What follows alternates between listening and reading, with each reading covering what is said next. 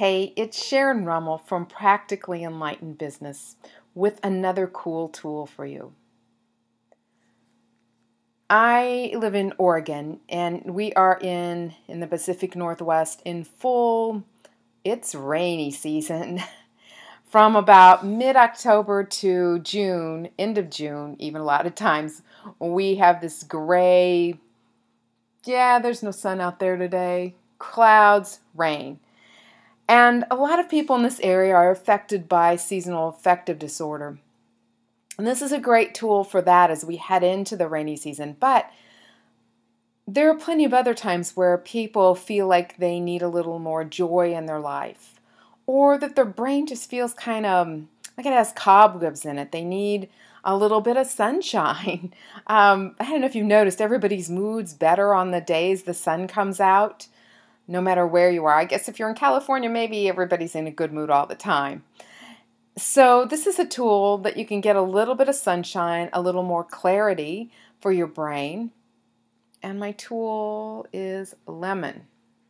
My poor little lemon looks like it's been in the fridge a little too long, but close your eyes for a second with me. And imagine cutting into this lemon and having that scent of lemon, the essence of lemon infused the space around you.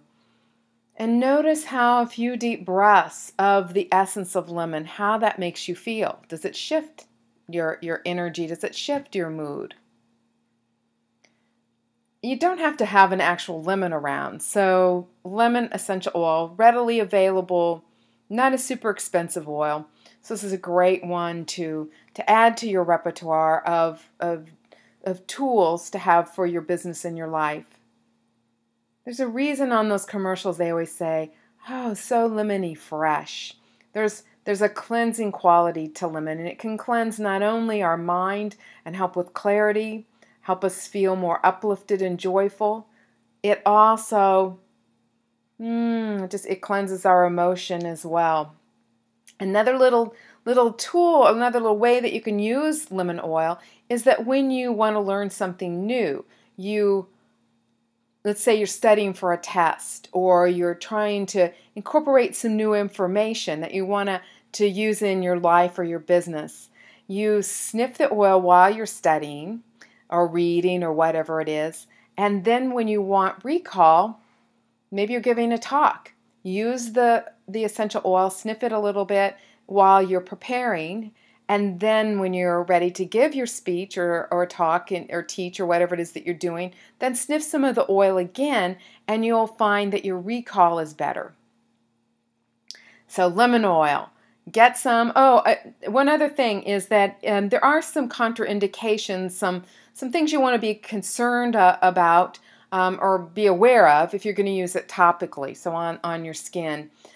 And rather than go into all those I would say for especially the purposes we've just been talking about, you can sniff it from the bottle. Avoid skin use unless you know some of those ways to, to keep from having it be a problem um, with, with topical use. So sniff it from the bottle or you can put a few drops on a tissue and sniff it that way.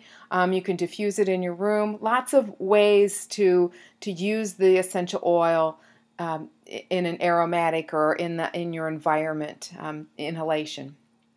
So get you some lemon oil and wake up that brain and oh, and give yourself a little more a little uh, boost of joy.